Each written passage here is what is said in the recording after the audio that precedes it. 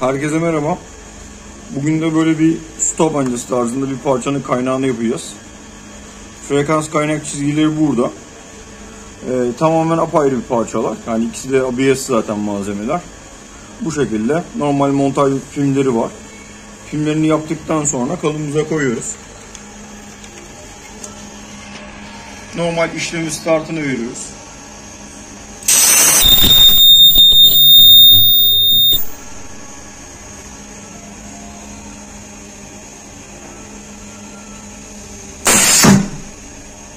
Evet parçamız çıktı.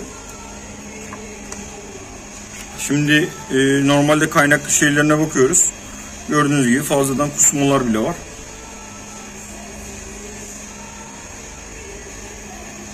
Normalde parçamız tuttu. Herhangi bir şey yok. Daha da ince hassas ayarlar yapılacak. İzlediğiniz için teşekkürler.